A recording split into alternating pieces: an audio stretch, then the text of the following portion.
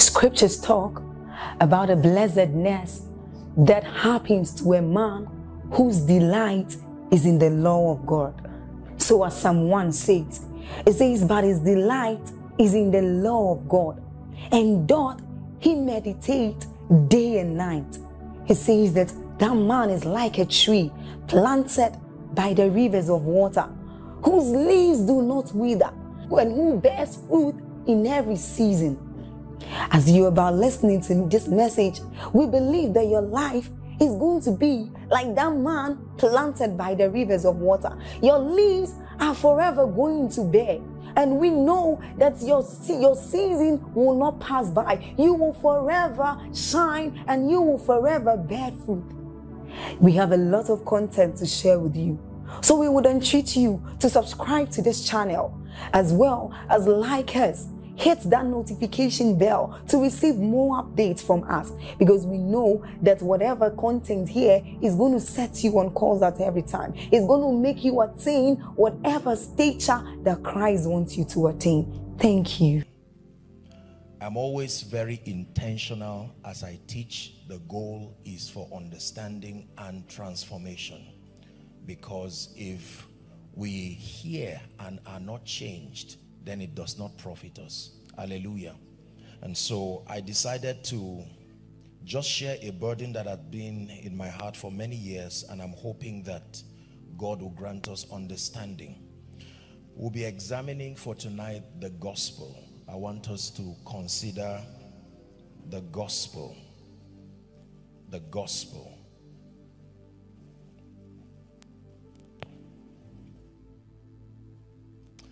Generally speaking, you can measure the efficiency of men and women of God across any territory by looking at the quality of the spiritual products that come out of our churches. Praise the name of the Lord.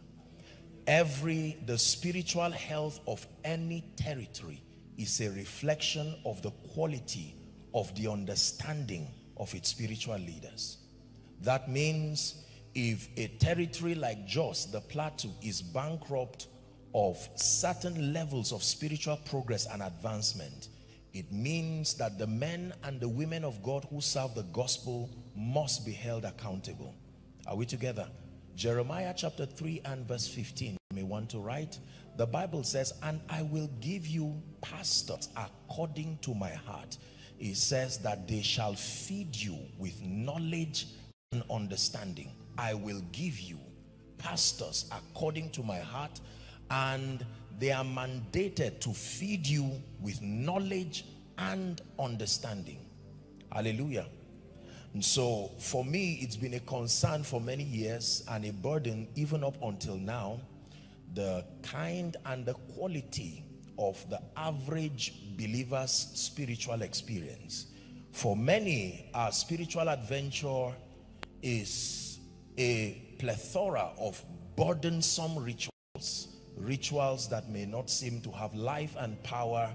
And many people are beginning to vent out the, the age-long frustration as to whether it is true that there is what we call the joy of salvation we were taught growing up that there is such a reality in the believer's Christian experience called the joy of salvation.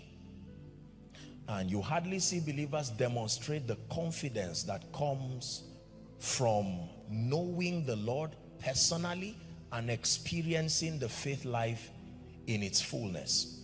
And so my discussion tonight very briefly is to help um, to give us a clearer understanding as to God's idea of the gospel. Now, I understand that I'm speaking to people who probably come from several denominational divides and here and there we may disagree or agree across different lines of thought but for the believer there are certain things that must be most surely believed among us Luke chapter 1 please for reference is God blessing us already? Luke chapter 1, we'll begin our reading from verse 1. Dr. Luke was speaking And here's what he said, for as much as many have taken in hand to set forth in order a declaration of those things which are more surely believed among us. That means there may be aspects of the Christian faith that is still subject to various levels of theological debate. There may still be aspects here and there that depend on the frame of our Christian experience. But the Bible says there are certain things that are called realities that are most surely believed. That means if you do not believe those truths, you are not a Christian. Regardless what denomination, regardless what Christian experience, there are certain truths that represent the epicenter of the Christian experience. Praise the name of the Lord. This is very important because you will be surprised how many members and how many preachers are completely ignorant of the truths that represent the foundation of the Christian faith. The inability to have been so guided for many preachers especially has led to congregants who are sincere, well-intentioned, but not able to grow methodically.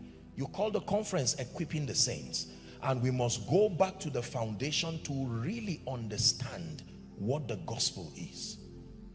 When I get born again, what am I introduced to? From where? Where am I coming from? What experience have I come into?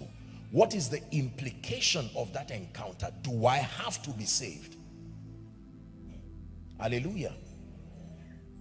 Because the inability to understand this truth will rob us uh, of the knowledge to be able to defend the truth that we know, even at times like this.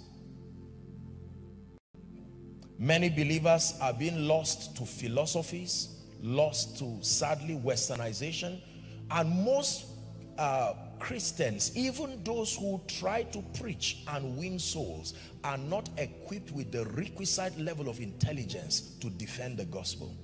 And so most of them end up being the converts of those they seek to convert.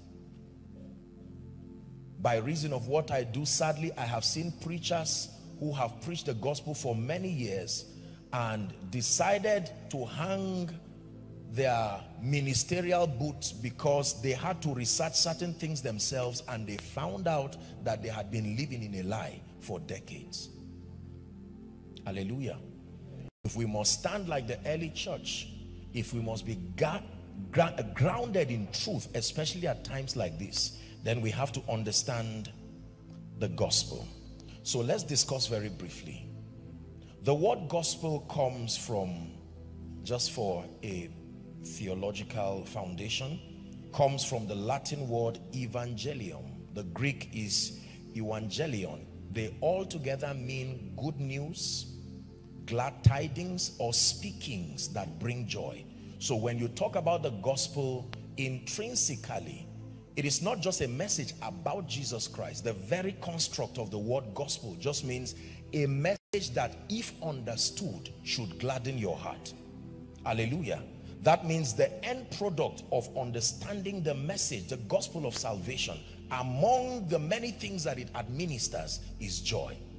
That if your Christian experience does not capture the joy factor, you did not understand the gospel because the very the very essence of the word gospel means tidings that minister joy hallelujah romans chapter 1 and verse 16 please romans chapter 1 and verse 16 paul the apostle was speaking to the church in rome and here's what he had to say for i am not ashamed of the gospel of christ for it is the power of God, he says, unto salvation to everyone that believeth. To the Jews first and then to the Greek. Very powerful. Please keep that scripture there.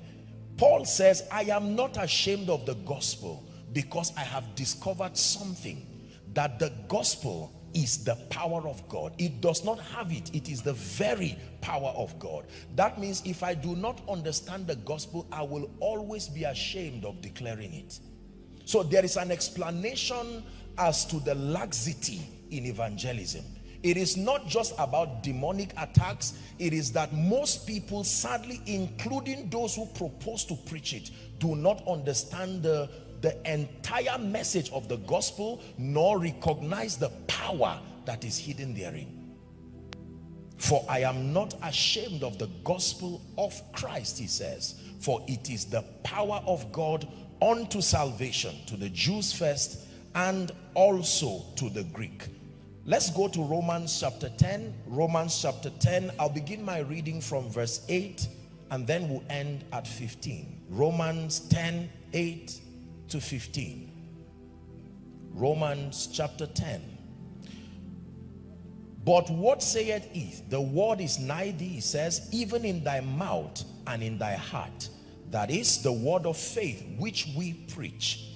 That if thou shalt confess with your mouth the Lord Jesus and shall believe in your heart that God raised him from the dead, thou shall be saved. It says, for with the heart man believes unto righteousness and with the mouth confession is made unto salvation. It says, for the scripture saith, whosoever believeth on him shall not be ashamed for there is no difference between the Jew and the Greek. The same Lord over all is rich unto all that call upon him. It says for whoever shall call upon the name of the Lord again it repeats shall be saved. Two more verses. 14 says how shall they call upon him that they have not believed? And how shall they believe in him of whom they have not heard? And how shall they hear without a preacher? And how shall they preach except they be sent? As it is written, how beautiful are the feet of them that preach the gospel of peace, that bring glad tidings, that bring glad tidings of good tidings. Are we still together? There are two dimensions to the gospel. The Bible theologically and Jesus in mentoring the disciples who would later become the apostles of the Lamb. Jesus showed very clearly that the gospel has two dimensions. Please listen carefully. The inability to capture all of these dimensions of the gospel will produce a side effect that will be felt even at a territorial level.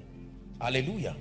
The first dimension of the gospel, and I'll take that for tonight, is called the message that saves. So there is the gospel as the message, not just a message. The gospel as the message that saves.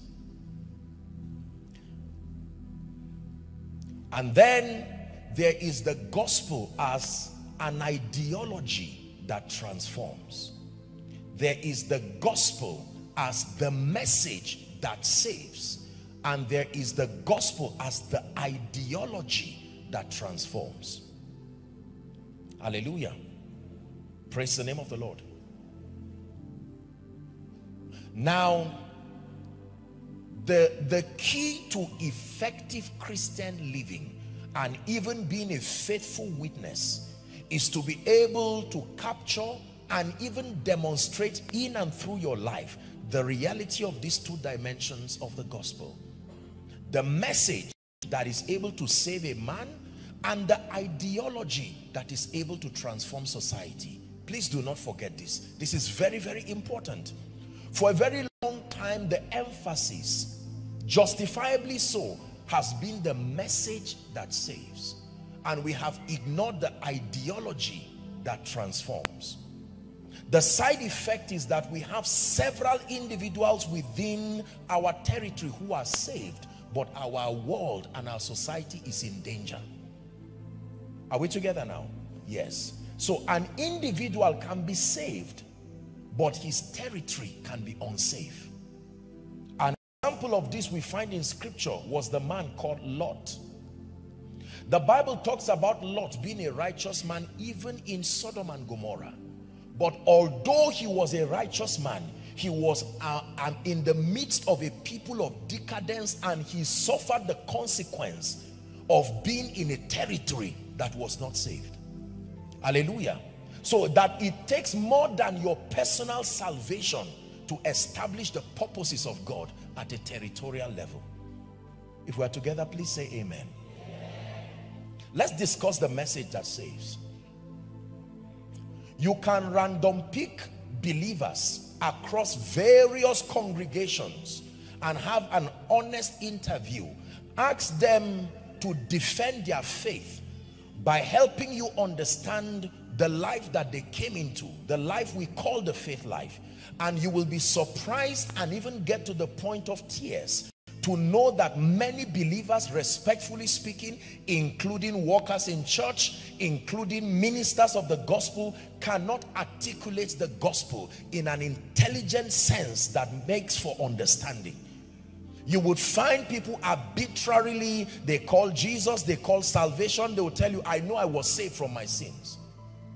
Several people would tell you Jesus is the answer. To what question? Are we together? So it is important for us to understand what we have come into.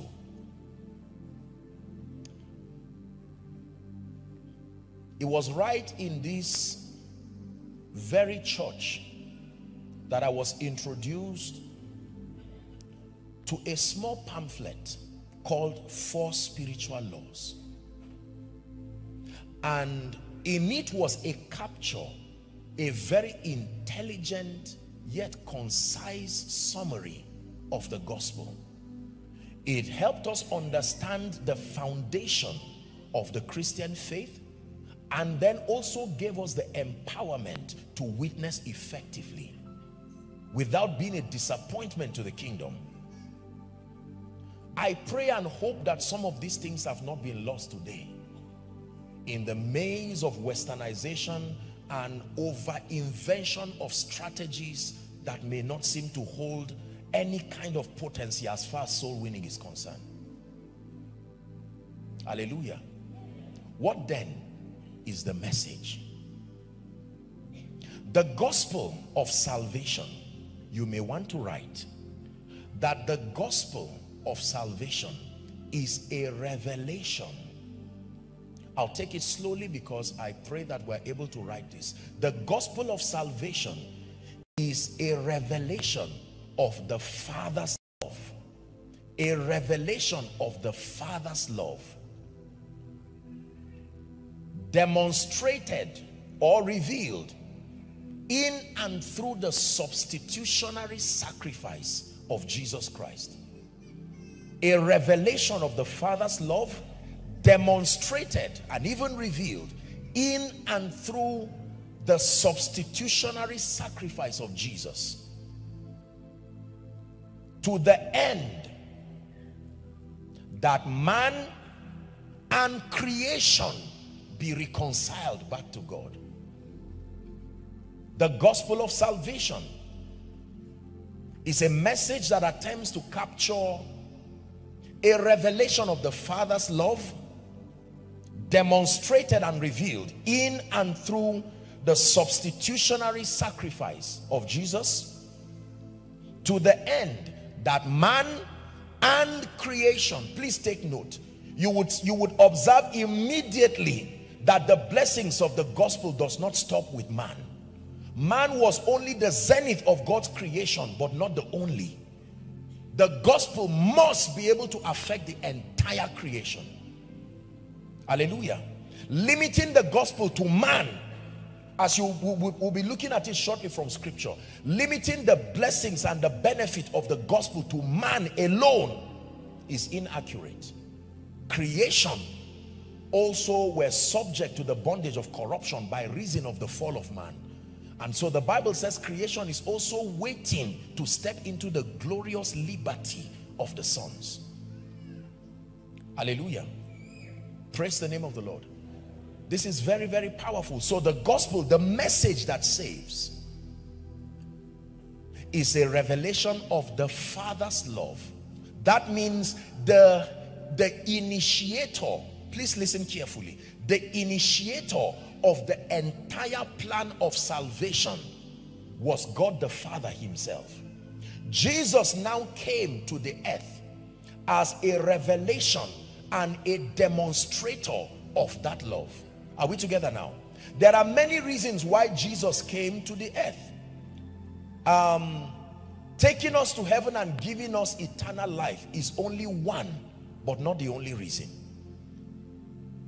We don't have all the time, but it's important for us to understand that Jesus came and walked the earth for many reasons. I'll give you two for now. Number one being the ultimate reason was to be that bridge, the, the means for reconciliation back to the Father through his substitutionary sacrifice. But number two, Jesus Christ came to the earth as a marking script to be able to re-edit our understanding about God.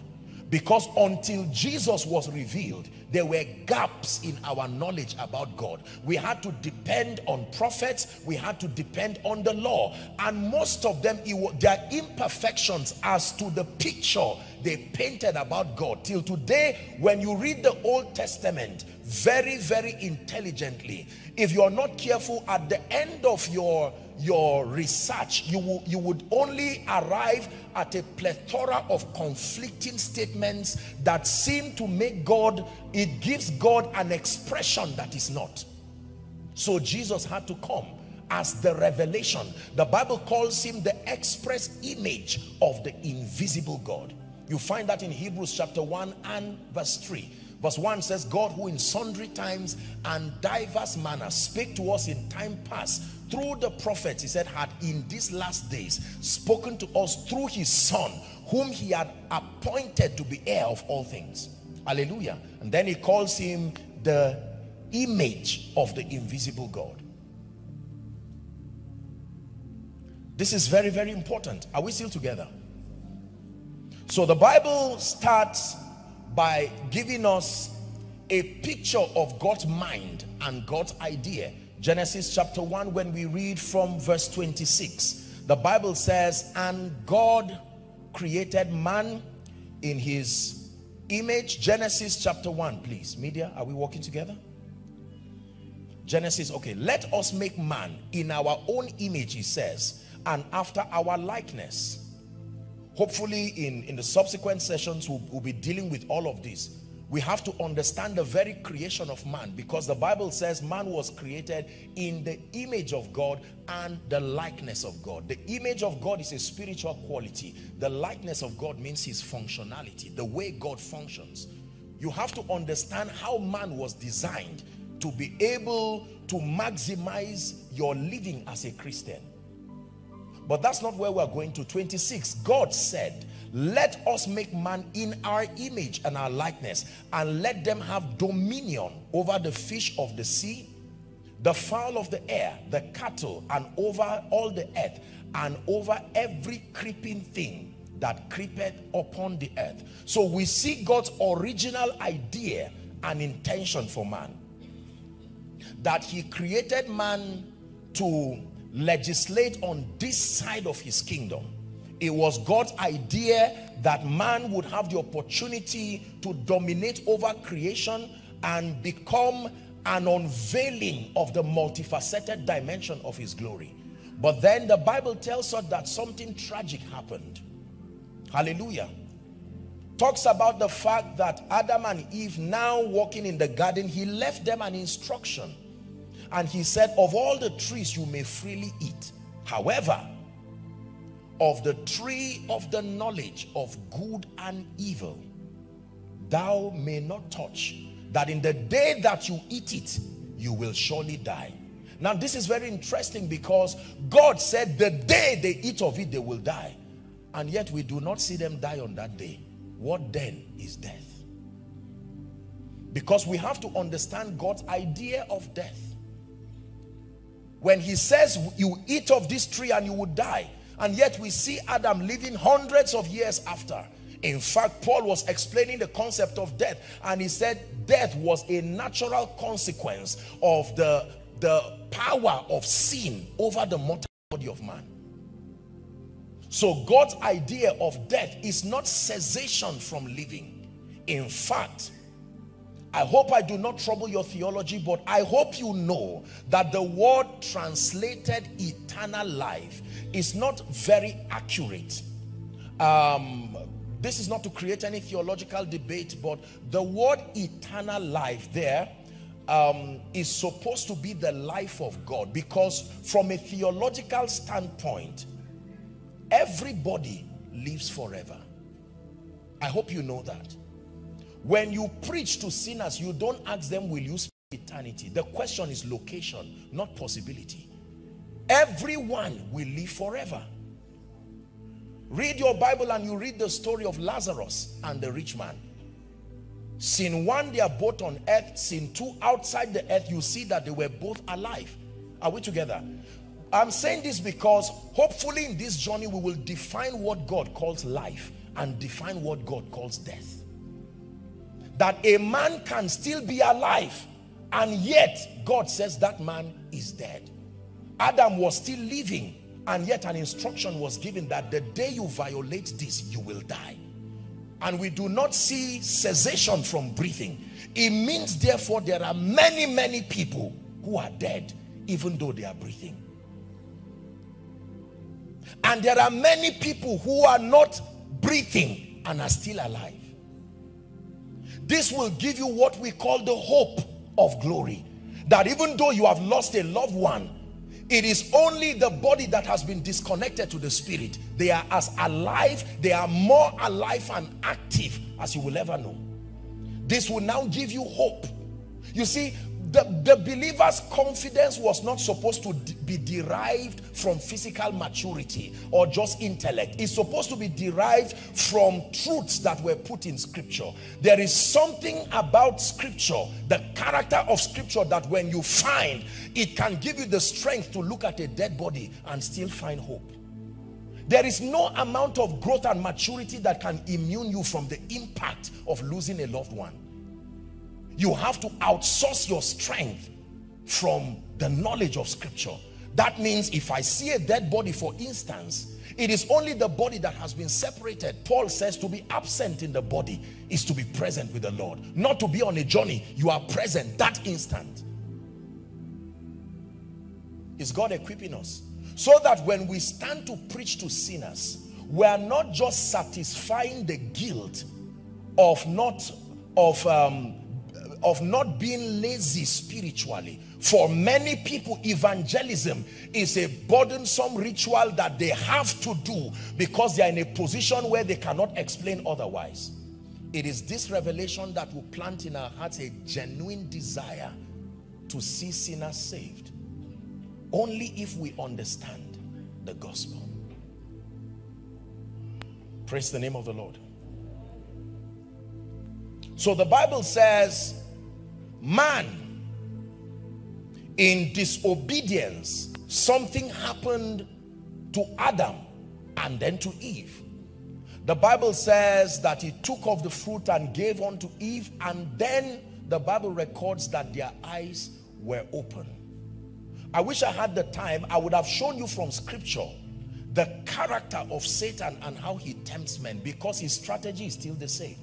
When Satan came to Adam notice that even Satan had to respect the organogram that God created. Satan could not, there was no place in scripture where Satan had the authority to talk to Adam directly. No. The Bible says he came to Eve. Are we together now? Apostle Peter was teaching us that Adam was not deceived. It was Eve that was deceived. Adam fell because of love. It's in your Bible. Are we together now? So Satan, please follow carefully. All Satan wanted was that dominion. Remember what brought him down from heaven. The sin of treason and rebellion was because he desired to be like the Most High. That was his manifesto. I will ascend above the stars of God and I will be like the Most High until iniquity was found in him. Are we Bible students?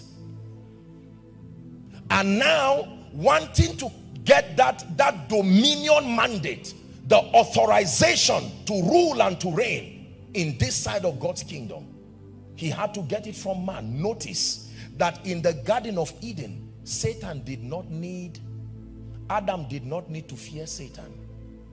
There was no discussion between both of them.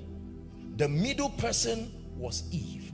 And the Bible says Satan through his subtlety, he beguiled Eve. Is that true? And when Eve took it, she gave her husband who was there with her. Eve was deceived. Adam fell because of love. Why am I explaining this to you? You have to understand this to understand the plan of redemption. Because the plan of redemption was still between the second Adam and his Eve too. That Eve now being the church. Are we together now?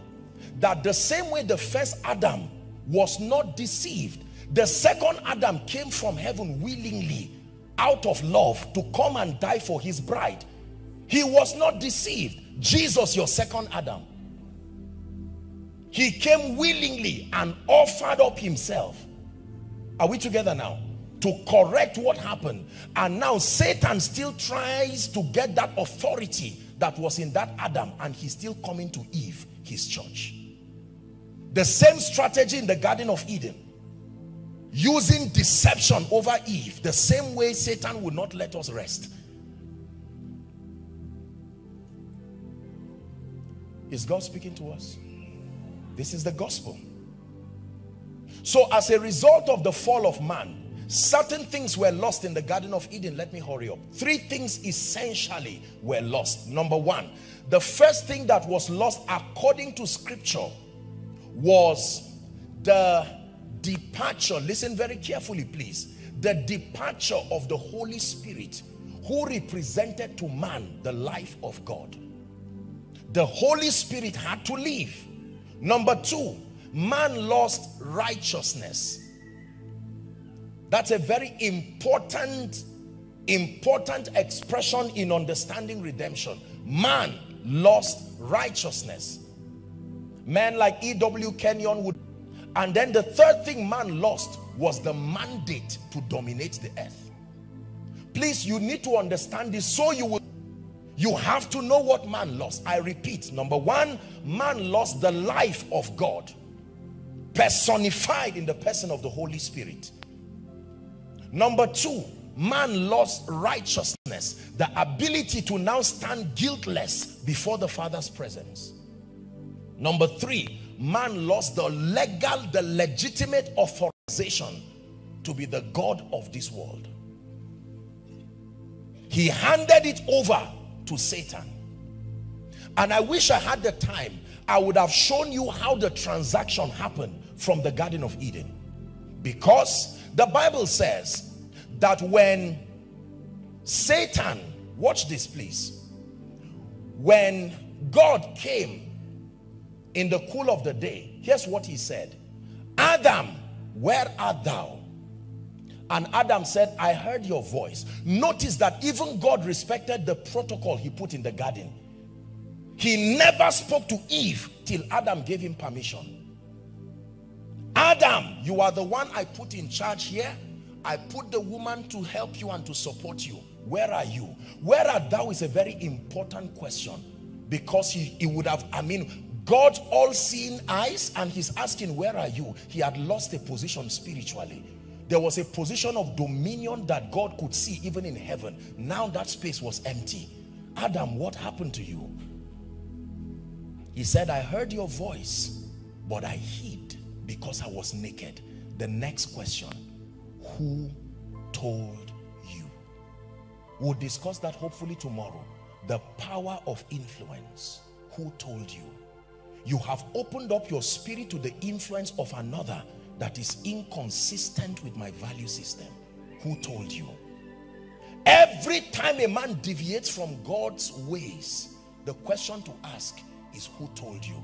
Who have you submitted your mind to to influence you? Who gave you an idea that being spiritual does not translate to being successful? Who gave you an idea that you have to choose between your salvation and a great life? Who told you? And he said, I he said, I ran, I hid myself because I was naked. And he says, who told you? He says, have you eaten of the tree? The first demonstration of irresponsibility and selfishness in the Bible, the woman, he said, that you gave unto me. You see that now? Not my wife, not whatever, the woman. Now notice, please, I want you to learn this. Notice that every time you give excuses and demonstrate irresponsibility, you transfer your authority to the one you are blaming. This is a principle in scripture. The moment Adam said, listen, it's not my fault. It's the woman that you brought. That means if she were not here, I would still be intact. He went straight to the woman and said, woman, the authority has come to you now. This man, by demonstrating irresponsibility and not admitting that he needs help, he has transferred the authority to you. And the woman said, me too, the serpent. The one who ended up having authority in the garden was the one who kept quiet. Hmm. Man spoke, transferred his responsibility to the woman. The woman spoke, transferred her responsibility to the serpent. The serpent kept quiet. Now you will understand why Jesus kept quiet when he stood before Pontius Pilate. They asked him questions. Can't you speak? And he kept quiet. He was not just quiet because he didn't have what to say. This is already a lesson. If you talk every time you have something to say, you are not strong. You have to learn to keep quiet sometimes, even what you, when you have what to say. It was in the silence of Jesus that he restored man back. So man fell. Are we still learning? This is very, very important.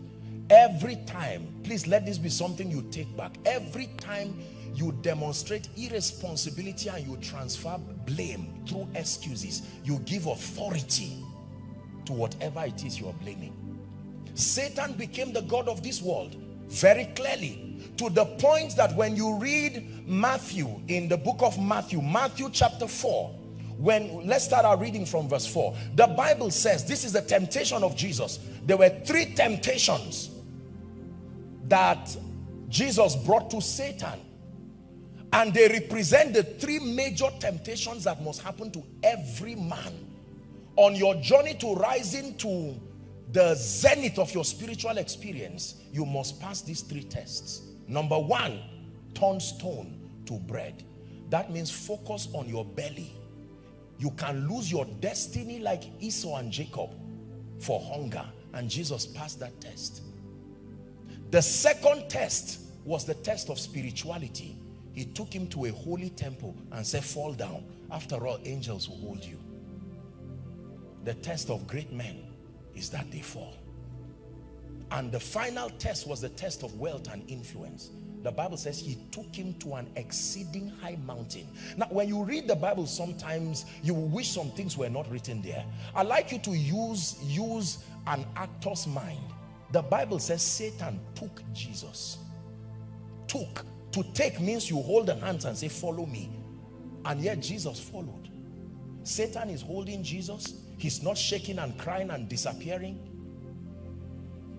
So just because you are holy and sincere, it will not automatically drive Satan from you. In fact, if you read your Bible, when Jesus prayed and fasted, that was what even brought Satan. Read your... I hope we're still... Still friends this night. How the word of God is praying and fasting. And as soon as he's done, the first person he meets is Satan.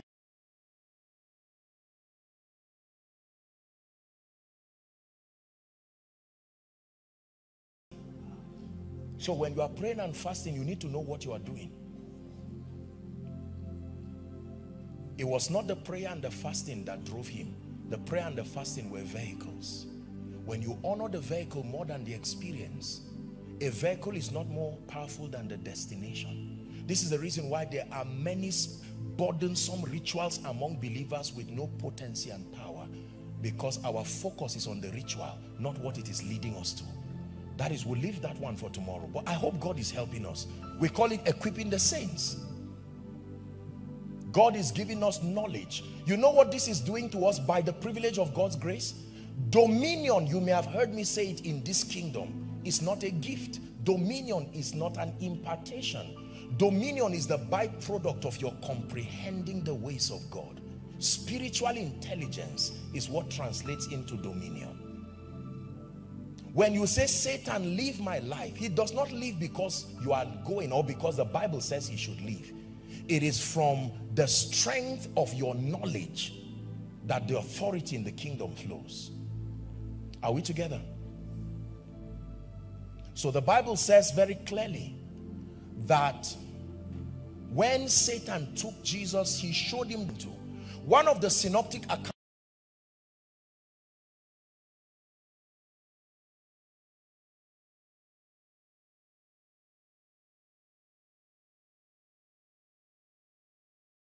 says that he said bow down to me and I will give you this. In other words Satan is saying the wealth and the influence I don't need it. Please do not miss any part of this conference especially tomorrow. I want to show you something very powerful. Because the Bible says he took Satan I mean Satan took Jesus into not on top of into an exceeding high mountain and from that mountain he showed him all the kingdoms of this world and their glory. Where is that mountain? Today. Where do you stand upon that you will see all the kingdoms of this world and the glory? There are levels of exploits in this kingdom you will never be able to attain unto until you overcome this temptation. Now you will know why, for instance, a secular musician can sing anything and still have influence because there is a transaction that happened on this mountain. In this mountain, you see the commodity of exchange is not goods and services, is your soul. What shall it profit a man when you gain he's using a business description you gain the whole world and lose your soul so you can use your soul as a commodity of exchange and when you give your soul you can get this as a reward influence over territories that's why he said i wish above all things that you prosper but that in prospering make sure that your soul also prospers because the economy of Satan will never allow you prosper even as your soul prospers. You can know who Satan has empowered because the higher your wealth and your influence, the more your spirituality and your passion for God. But when you rise in influence and still maintain spirituality, it shows that you have tapped into the economy of heaven. Is God helping someone? Wherever we can stop tonight, we'll pray and continue. It's a conference. But let me find somewhere to tie it and then we'll pray. Remember, we're looking at the message that saves. So the Bible says that man fell and according to Ezekiel chapter 18 and verse 20 Ezekiel chapter 18 and verse 20 very powerful scripture. It says the soul that sinneth it shall die.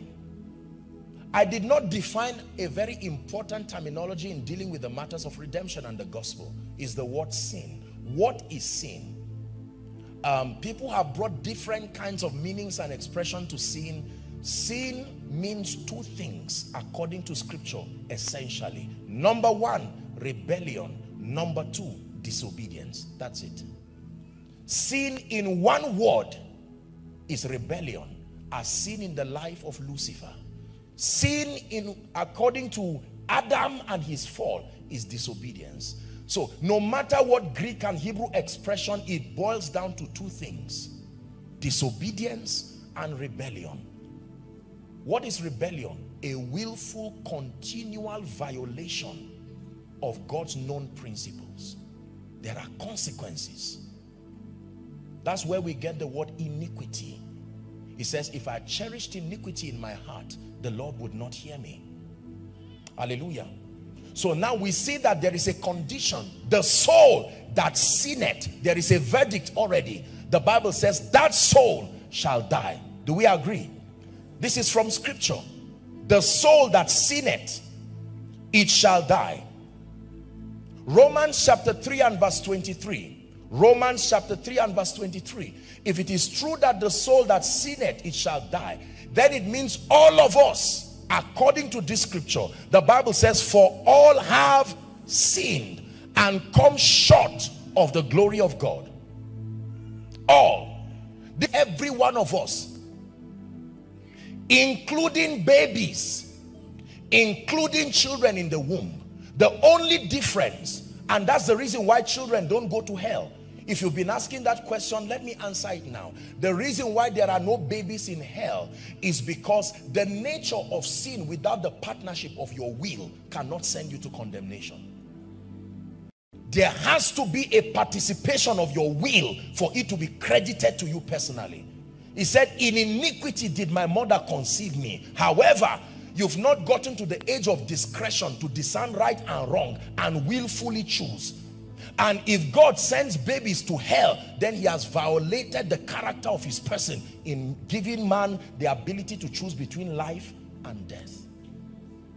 That means, let me also answer the question, what happens to those who die and never hear the gospel? There is a system of judgment allocated for them based on scripture. They cannot be judged like those who have heard the, the, the verdict of condemnation is only released to your life at the instance of your hearing and rejecting Jesus. When you read your Bible, you will read that when Jesus went to Hades, the place of the dead, Apostle Peter tells us that he preached to the departed saints. Is it in your Bible? He gave them an opportunity and they believed and Jesus marched out with them being the firstborn of the begotten and many of the departed saints arose with him and walked through the streets of Jerusalem. This is Bible. Praise the name of the Lord. So based on this verdict, the Bible concludes that all have sinned. All means the educated, the uneducated. All means male, female, all means whether you are European, American, Africa, for all have sinned and have fallen short of the glory of God. So the verdict of death becomes a verdict upon everyone. Is that true? Based on the integrity of this scripture. But Ezekiel 18 and verse 23 now begins to introduce to us what we call the mercy of God. Ezekiel chapter 18 and verse 23. Here's what it says. Have I any pleasure at all that the wicked should die?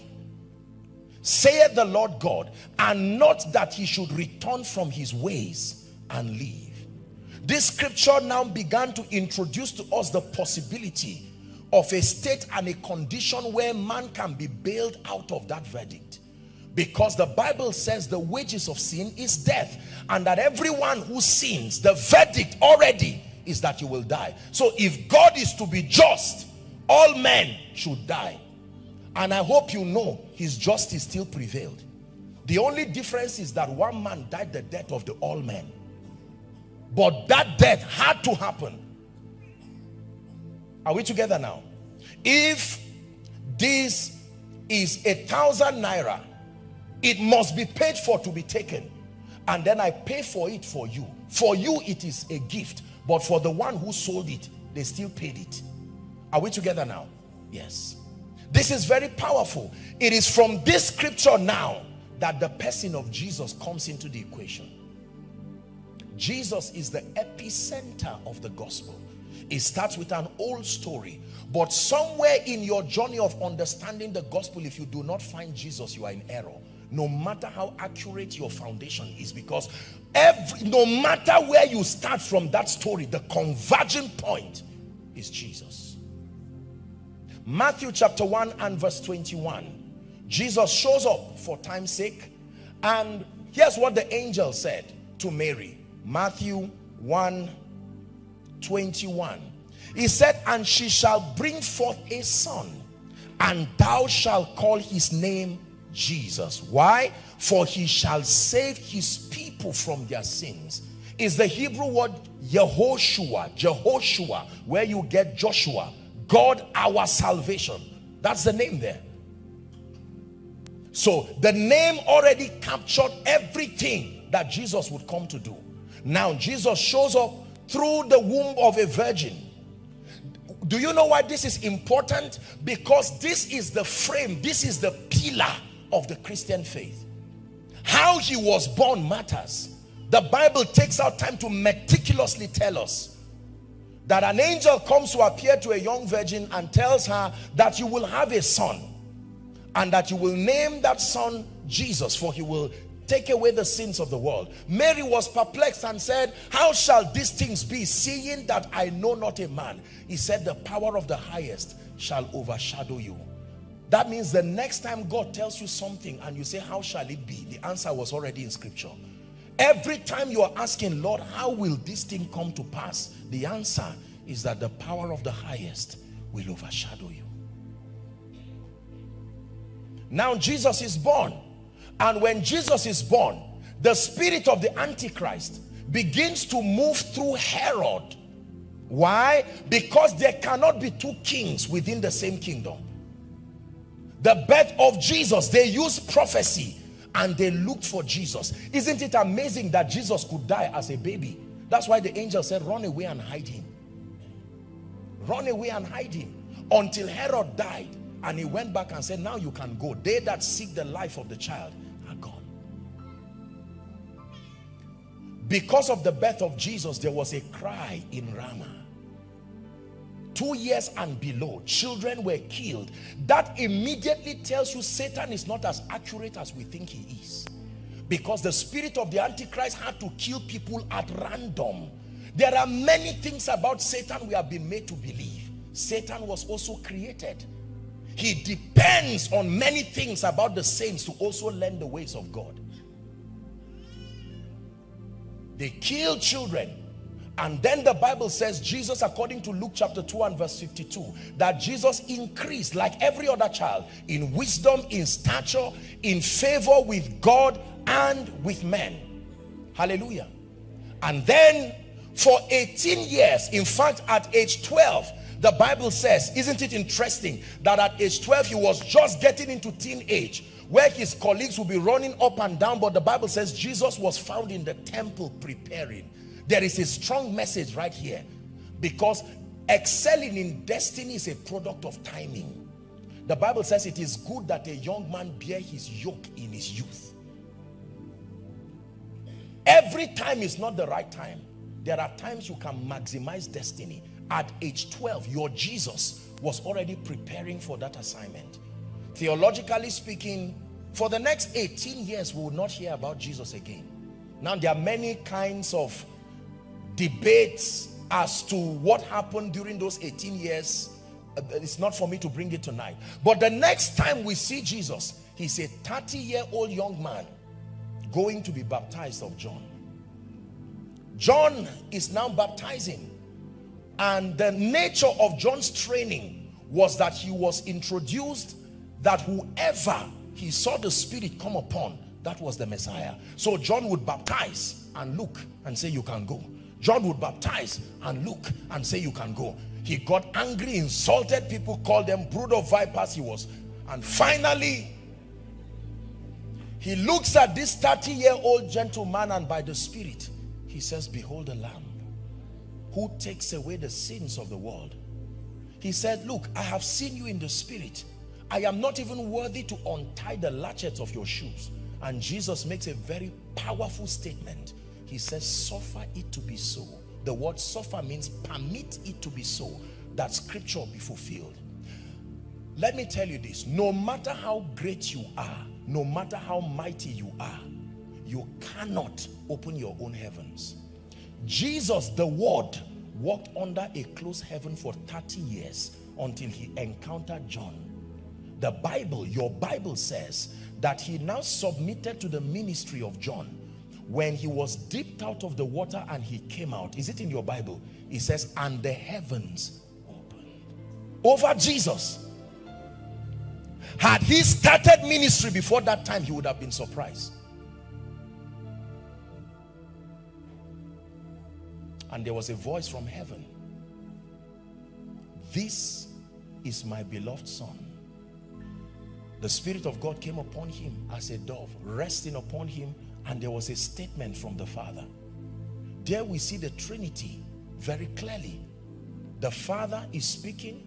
The Holy Spirit in the similitude of the dove is resting upon him. And the Son now receiving the Spirit. And he said, this is my beloved son in whom I am well pleased. And he commanded creation to hear him. That was the beginning of the ministry of Jesus. News went all over town. I'm wrapping up now.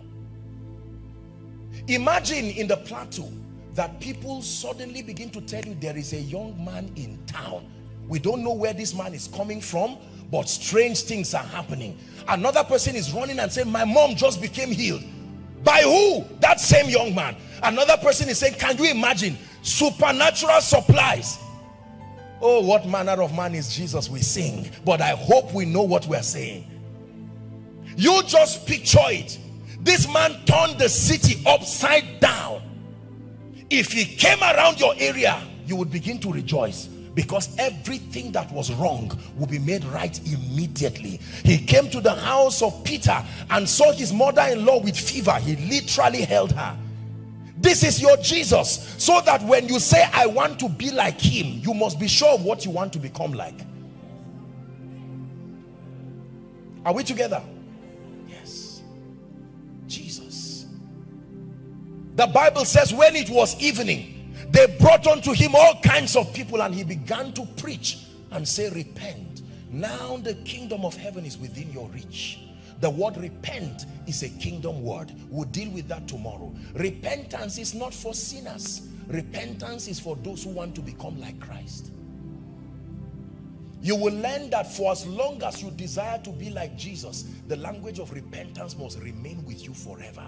To repent means as we look at him, we see the areas where we have veered off so we repent. To repent means to realign. Most people hate to use the word so that they show that they are not sinners. Repentance is a kingdom word. Show us the ancient path. Will you lead us along eternal highway we want to follow the ways of Jesus we want to enter your rest. Show us the ancient path. Will you lead us along eternal highway? We want to follow the footsteps of Jesus. We want to enter. Please give me five minutes and we're done. Jesus began to teach and he began to demonstrate to them the life of the kingdom. Then he gathered 12 people to himself to walk with him. Notice the instruction he gave them. Please listen, don't miss out of anything the Spirit of God is saying tonight. When Jesus called the 12, the first mandate was follow me. No matter how great you want to become in life, when God calls you, he does not call you to ministry. He calls you to himself. The first assignment is not follow it. Follow me. And he leaves you with an assurance that if you follow me I will make you. My goodness. He does not only make fishers of men he makes anything. There is a name he is called the maker. The man standing before you today is a testimony that the maker still makes but he only makes those who follow follow me is a journey of faith. It is the riskiest journey of a believer. Because follow me means you do not know where, you only know who is going. Follow me is a risk in our world that is obsessed with guarantees. Where are we going? And God says, follow me as proof that you trust me. There are many people today who cannot excel because they do not know how to follow him with the simplicity of childlike faith.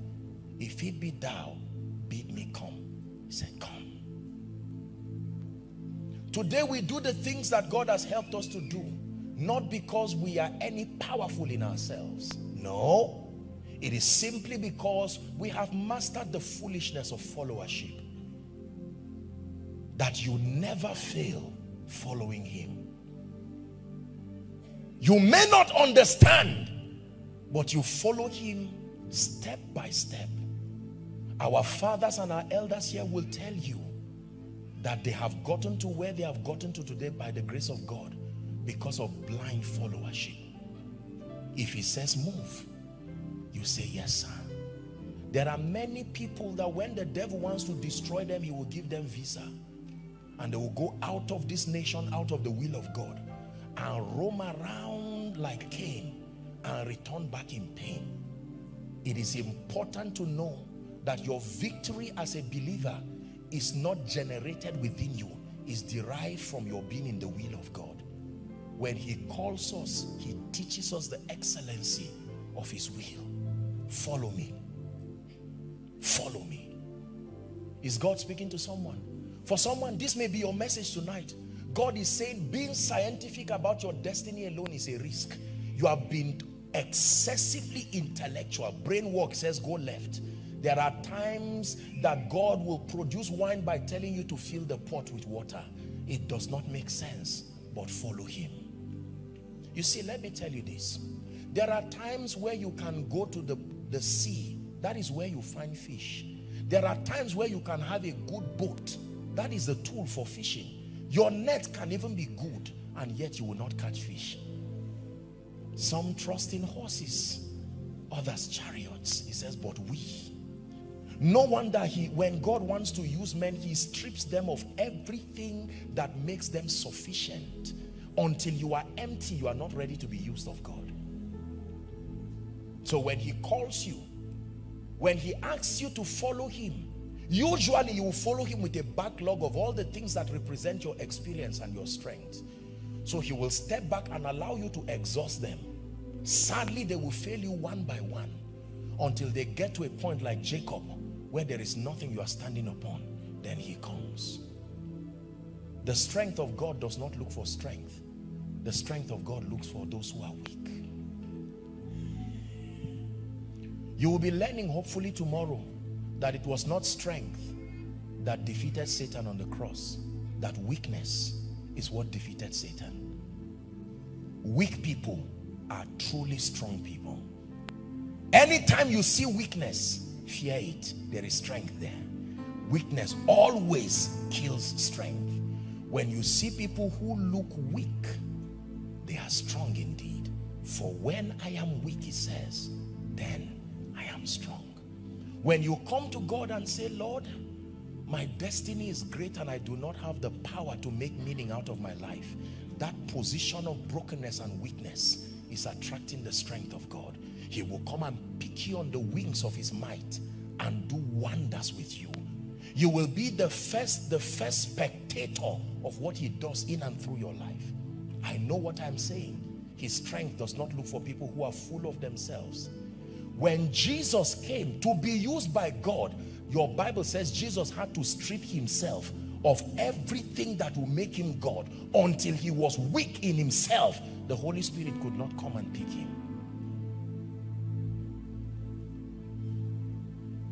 When the oceans rise and thunders roll, I will soar with you above the clouds.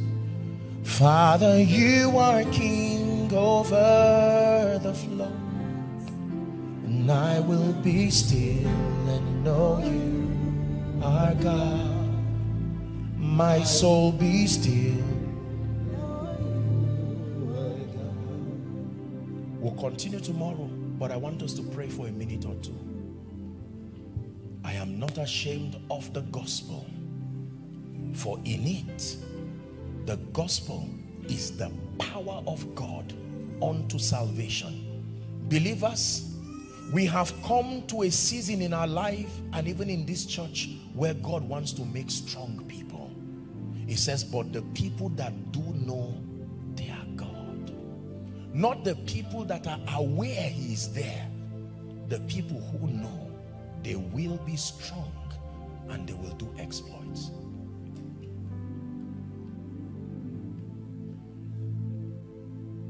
Jesus Christ is the epicenter of the believer's Christian experience. Tomorrow we'll take our time to tie up why he died. Why did he have to die? Why did he rise again? The Bible says that today he's seated, exalted as Lord and King. Do you know why that is very important? It is not everything about Jesus that saves you. I hope you know that. There is an exact information about Jesus you must believe to be saved. For instance, believing he's a prophet does not save you. For instance, believing he was a good man, you are right, but you will not be saved. There, there is an exact information about him you must believe to be saved. So you can know whether you are saved or not, not just by your longevity and your stay in church,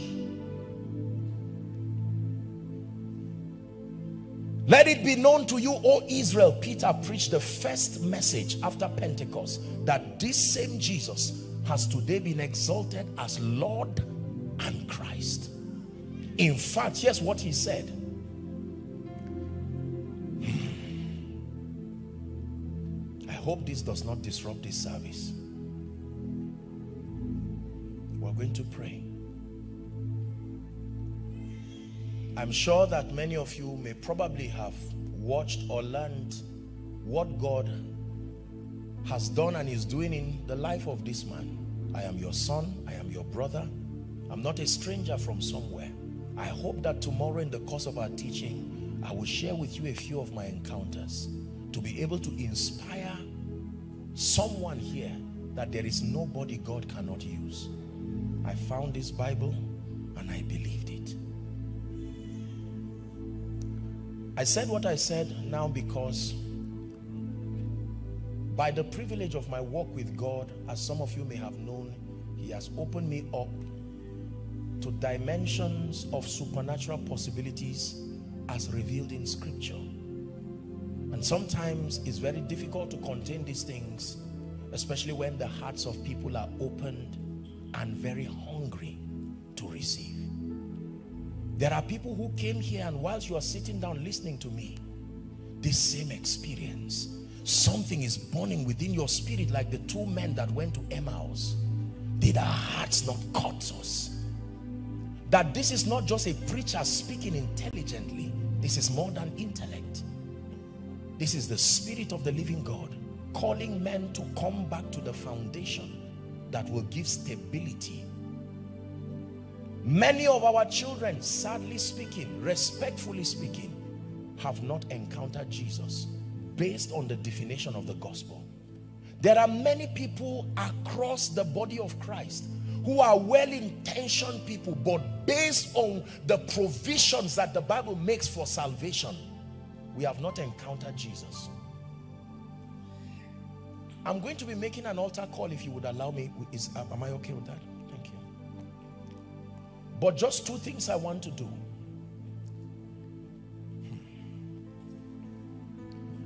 While I was teaching, I just saw light and I saw three people here. And of these three people, the Lord just ministered to my heart to tell you that you are the Savior that He's raising even over your family. And I want you to help them because I just saw light.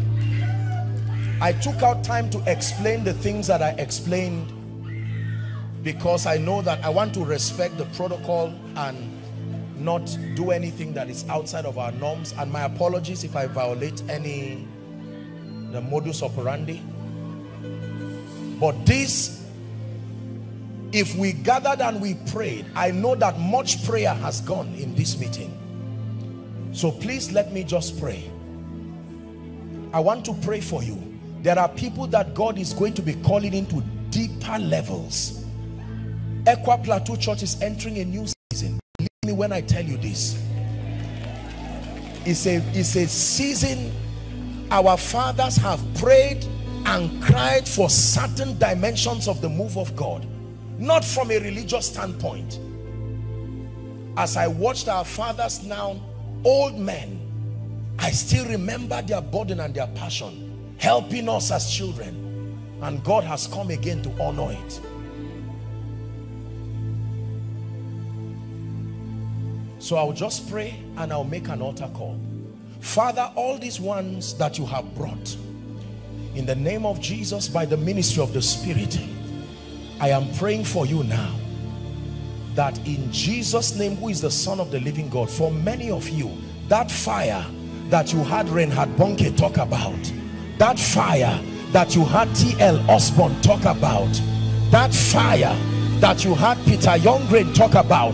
Those who have joined the cloud of witnesses.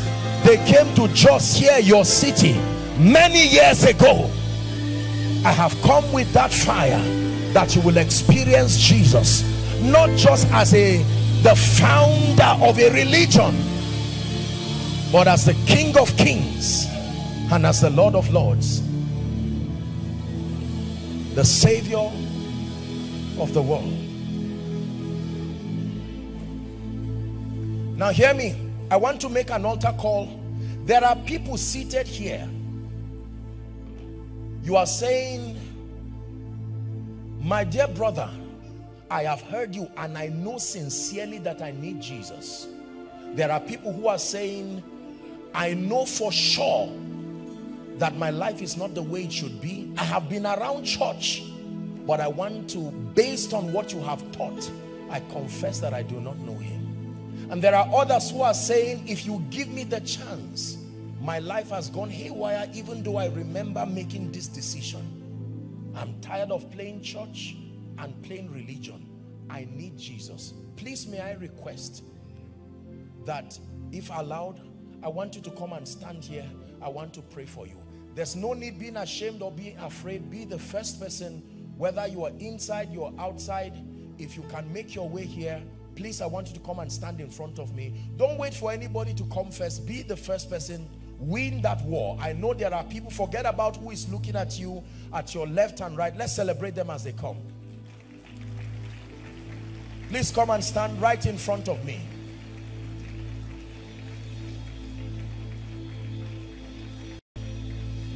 I mean it with Jesus. No shadow you will light up, mountain you will climb up, coming after me. No wall you won't kick down, lie you won't tear down, coming after me. Please come, join them. There's no shadow you will light up, Mountain you won't climb up, coming after me.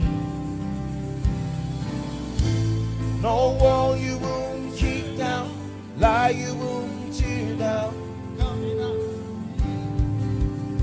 Hallelujah. Are you still coming? Let's celebrate them. Some of you are saying, I want to come, but I'm ashamed of my friends. I'm ashamed of my family members. No. This is the conference where you mean it with Jesus and make that decision. He says it is appointed unto man to die once and after that the judgment. The Holy Spirit has come to convict you. No matter what else you learn about God, if you do not subscribe to the truth of the gospel, you are not a Christian. You may be a member of a church. You may even be a worker in church. But it takes receiving the life of Jesus by acknowledging his substitutionary sacrifice. No wall you won't, lie you won't tear down. Hallelujah. Thank you very much for this bold decision. May I please request that you lift your right hand high above your head as a sign of surrender to Jesus. I'm amazed to see even the children coming to Jesus. You know, Jesus said, let the little children come. And he says, do not forbid them, for for such is the kingdom of heaven. I want you to pray this prayer. Some of you are crying. There's nothing to be ashamed of. The Bible says, as many who will come to him, that he will in no wise cast away. When you come to Jesus, you're not coming as though you are a failure who is being pitied. See yourself as though you are coming to receive an award, except that this surpasses every other one you have received. It is the very life of God.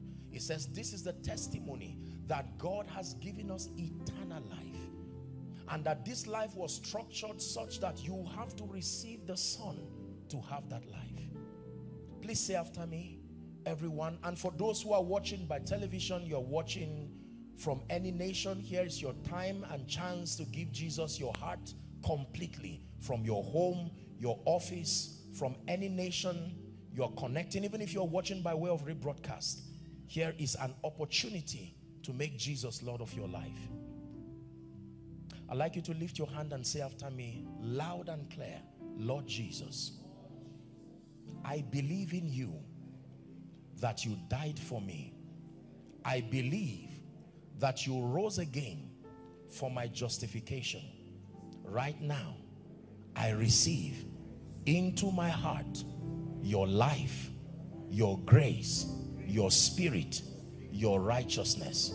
I declare that Jesus is Lord of my life.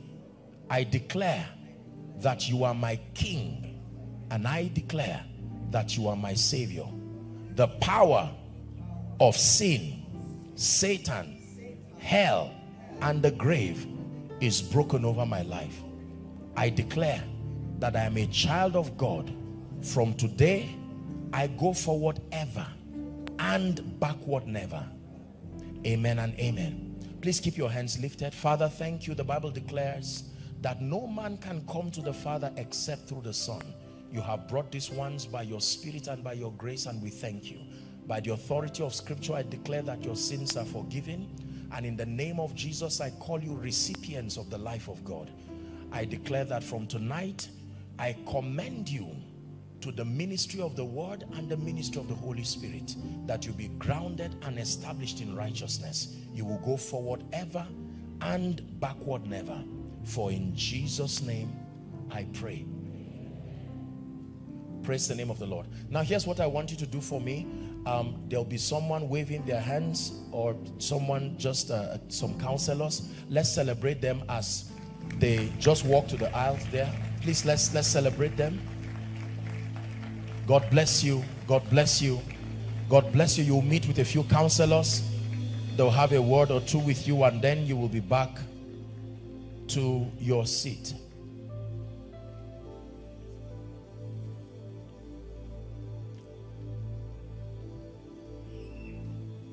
Hallelujah. I understand that there is another session tomorrow in the morning by 10 if I'm right and then the final session with me is in the evening. May I encourage you, please make the sacrifice to plan so that you can come and learn some of the things that we're going to be sharing. It's a conference that seeks to equip the saints and I trust that at the end of this conference that our lives will never be the same in the name of Jesus. Let us pray. Father, we thank you for giving us the opportunity to learn your ways, to understand the gospel clearer. Thank you for the honor that you have given to lead this many to Jesus. Thank you because the entrance of your word, the Bible declares that it gives life and understanding to the simple. We pray that this that we have heard tonight will remain in our spirits and it will produce fruits 30-fold, 60-fold, and our desire is a hundredfold in the name of Jesus. For everyone who departs here, I pray that they are blessed in the name of Jesus that you will return back with testaments of the hand of God upon your life. May the Lord bless you and increase you. In Jesus' name I pray. Amen and amen.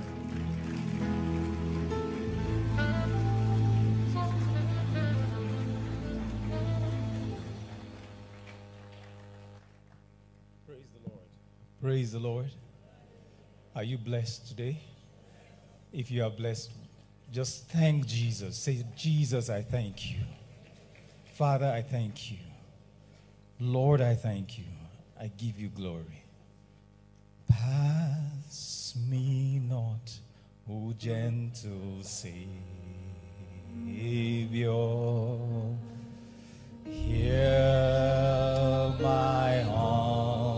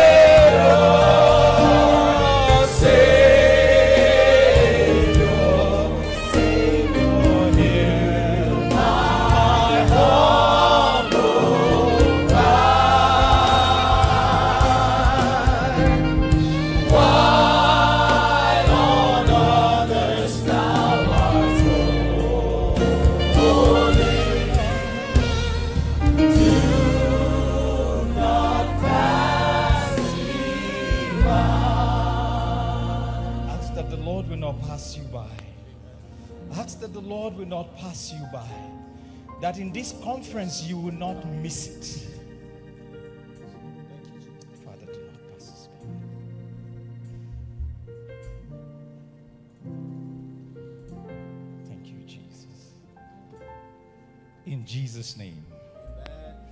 Hello. Scriptures exhort us from the book of Proverbs. It says, My son, attend to my sayings, incline thy ears to my words. Let them not depart from thy eyes, and keep them in the midst of thee. As you have listened to this message, we believe that you are going to reap the blessings thereof if you attend to these words as well. That you will keep these words in the midst of your heart. That no matter the circumstance, your eyes are going to be fixed on these words. And as you have been blessed, we will tell you to share this message. Be an evangelist by sharing to others to be blessed. And then subscribe to this channel for us because we have loads of videos, we have loads of content that is going to make you blessed, that is going to set you on course, that is going to set you ablaze. And don't forget to like for us. Thank you.